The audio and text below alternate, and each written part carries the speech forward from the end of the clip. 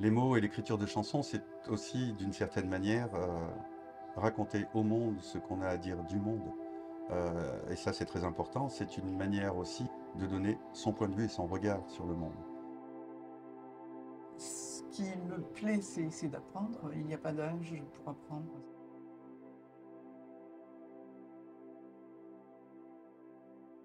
Ça nous donne vraiment les outils, les armes pour, euh, pour démarrer en tant que parolier ou en tout cas se perfectionner. Il y a un côté très ludique et il y a un côté aussi où on apprend plein de choses sur l'histoire de la chanson. D'ailleurs, je ne suis pas déçue.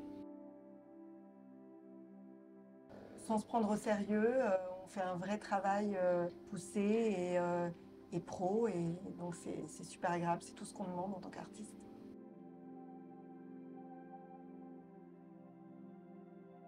J'ai écrit beaucoup de chansons en arabe avec une carrière derrière. Et là, je tente une nouvelle expérience, c'est d'écrire des chansons en français. Et c'est pour ça que je suis là. Ce qui est très intéressant, c'est que euh, quand on a le syndrome de la page blanche, euh, on bloque souvent en tant qu'auteur-compositeur. Et grâce à cette formation, j'ai appris à comment débloquer euh, ma créativité. J'étais en tout cas dans cette réflexion de vouloir travailler le texte en français et je suis tombée sur un, un, mail de la SACEM qui me parlait en fait de cette expérience. Donc c'est vraiment, il y a eu vraiment quelque chose de l'ordre de la synchronicité.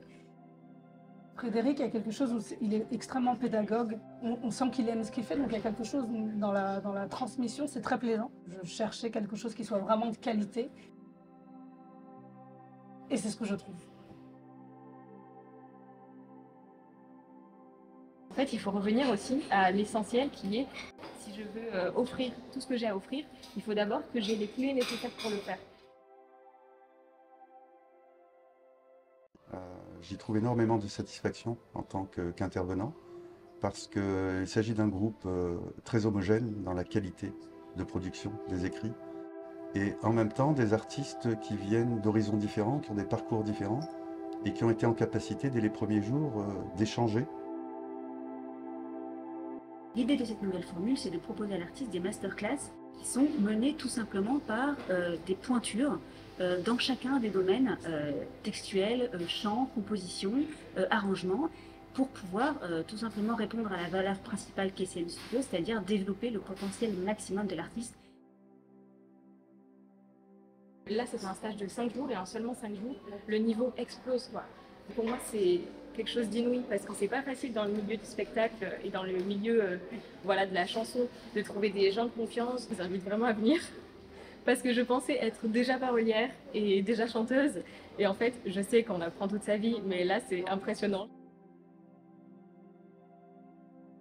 Euh, ne pas se tromper avec les textes, avec les bonnes compositions, quelque chose qui nous ressemble, qui nous permet d'exprimer euh, aussi nos envies, nos joies, nos douleurs, nos doutes. Et je trouve que c'est euh, important d'avoir des structures qui nous accompagnent. J'avoue qu'aujourd'hui, sur le marché, c'est assez rare. Et euh, avec CMC Studio, avec Arvox, avec tout l'écosystème qu'on a envie de mettre en place et qu'on met en place, euh, on va pouvoir faciliter la vie à beaucoup d'artistes. J'apprécie énormément cet accompagnement qui est très global permet de prendre vraiment confiance en nous euh, parce qu'ils savent voir euh, le talent et l'unicité de chaque personne sans comparaison, mais vraiment en essayant de, voilà, de, renforcer chacun dans ses, dans ses talents et de renforcer les, zones plus, plus faibles. J'ai écrit la dernière chanson de Johnny Hallyday, c'est la dernière chanson qu'il a enregistrée dans sa carrière. Elle s'appelle Tomber encore. Écrire une chanson, c'est aussi du travail manuel avec cette formation, euh, devenir parolier, et donc avec le CMC Studio, c'est qu'on est vraiment dans l'atelier. Ces professeurs qui sont d'abord des êtres humains au service de leur art. C'est quelque chose à ne pas rater. Souvent, quand ce regard et ce point de vue correspondent à ce que pensent, attendent ou espèrent euh, le public et les gens qui écoutent les chansons et qui aiment les chansons, euh, il y a ce qu'on appelle des succès.